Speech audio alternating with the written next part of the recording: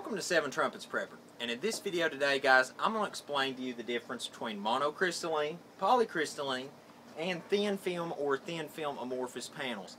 That way you know exactly what you're getting into when you start to do a solar setup. So let's take a look at it now.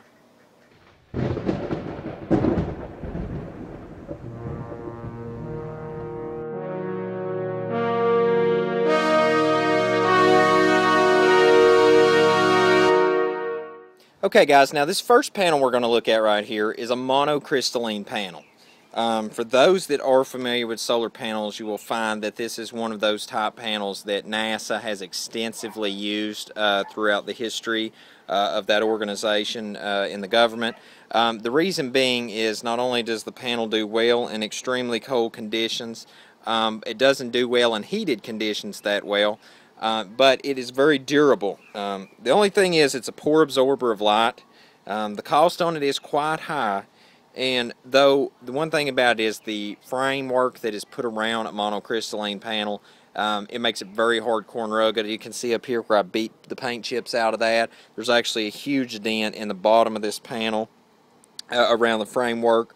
Um, as far as high heat goes, it can endure high heat but the output as compared to the monocrystalline in a minute that we'll get into, it's just not that high um, as far as uh, the monocrystalline being able to uh, stand up to heat.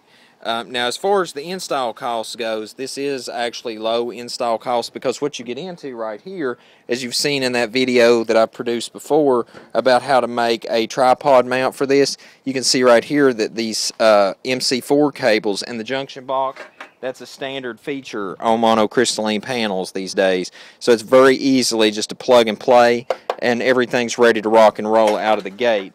Um, now as far as durability goes, right here's an example. As you can see right there, I mean I beat the framework up on this pretty heavily over time. Now monocrystalline panels um, are very available in the market today. If you go on eBay especially, you'll find that they're absolutely all over the place the best monocrystalline panel in my opinion period hands down in the market if you're going to buy one of these is from Renogy. Uh, Renogy panels are extremely durable. They've stood the test of time for me. Now with that said um, as far as installing these I'll get into the charge controller here in a minute. That's my recommendation to run these through um, because a lot of preppers will run uh, 60 amps or less uh, for off-grid, whether you're putting it on your RV, whether you're putting it on your house. A lot of people, they keep it simple, they keep it affordable, and um, you know within the 60 amp range. Uh, Xantrex charge controller is a good one for that, and I'll get to that further, like I said, in a second.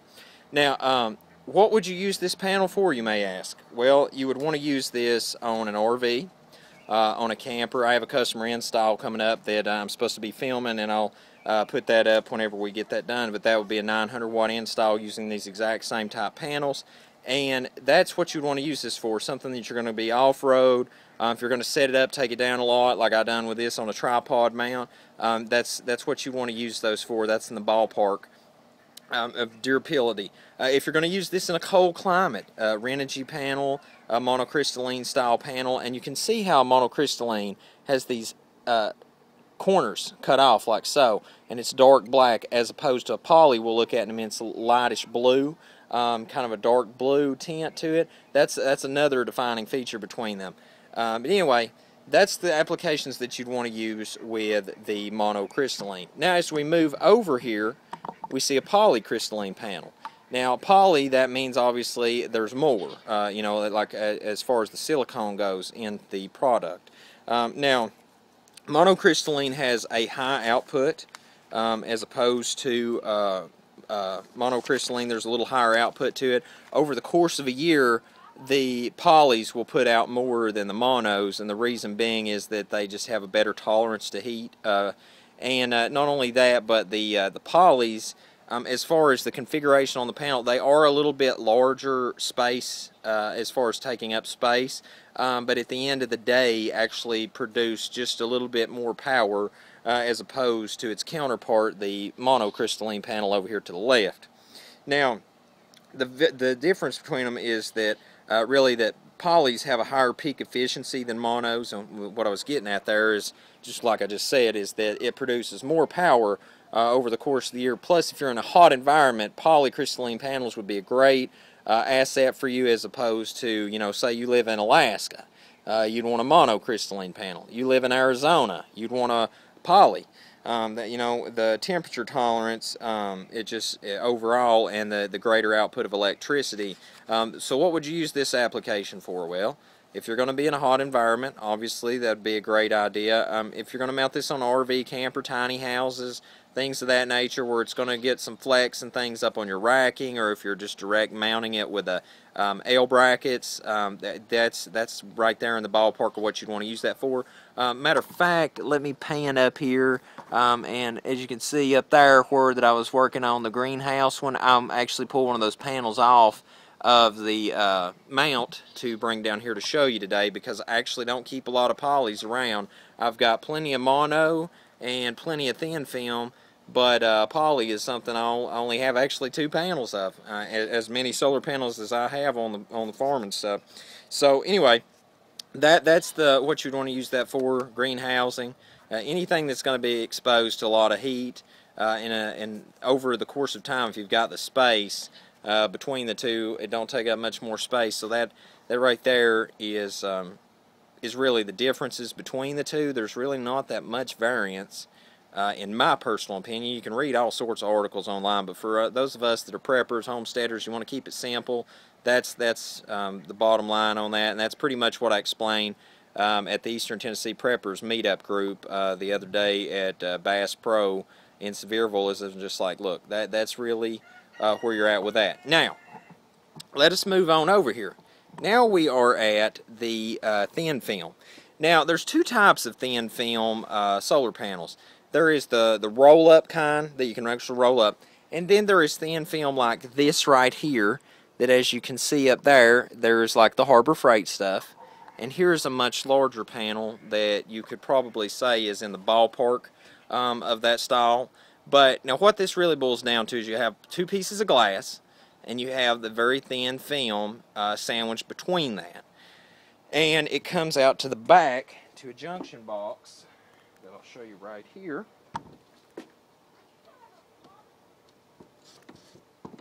I'll show you the output on this in just a minute, is you can see right here that those strip comes together and goes into that junction box. Now it also has uh, some of these panels, you'll see panel types, they already have racking channel uh, mounted onto it so you could actually do the bolt through, slide through, or you can do this channel slide with the lockdown. Um, there's some versatility there. You can also, in another video I'll show you, you can take and get the uh, updated junction boxes and go on these type panels. You can run the hot lead in and the ground lead in as so to the bus bar and then you will come off the bus bar with your hot MC4 and your ground and I'll show you that as well right here. So those would go into the lead and then drop out as a standard MC4 uh, modernized. So, I mean, you have the options there, um, uh, bringing those up to date, or you can just uh, wire it as that I'll show you probably um, here very soon in a month or so uh, with my install, because I'm going to be putting a 2.5 uh, K, roughly a 2.5 K install on my home. And here is the specs on those panel, that panel in particular right there, and it's UL listed. And if you're interested in getting some of these, I can get you contact with Brian May. Um, he, he's now supplying these. He's a supplier of those. And um, anyway, what is the great advantages of having uh, thin film solar panels? Well, number one is, as you can see, a shadow just went over right now because of clouds. These panels still put out power uh, for uh, up to 40% more they can than a poly and a mono just because when a poly or a mono panel gets shadowed, they don't do so well. But this uh, particular panel right here, these thin films, will gather light uh, even whenever it's low light. And that's a huge advantage to those of us prepping because there's probably going to be times in the future uh, where there's going to be cloudy days and there's going to be, I mean, just think about it. What if there was a nuclear disaster you know, Yellowstone blew or, you know, the end of the days come, Trumpet 2, uh, asteroid hits the ocean, you know, throws all sorts of debris in there. I mean, there's just lots of factors you can take into account, uh, whatever the case may be. You know, these type panels right here continue to produce power uh, even under dark conditions. So that is an option um, definite for preppers. Now the great thing about that top panel right there too is it's 48 volt.